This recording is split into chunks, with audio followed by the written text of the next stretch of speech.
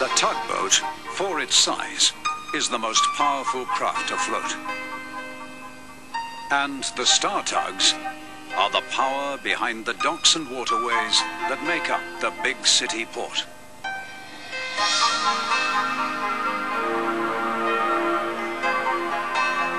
This is Tugs.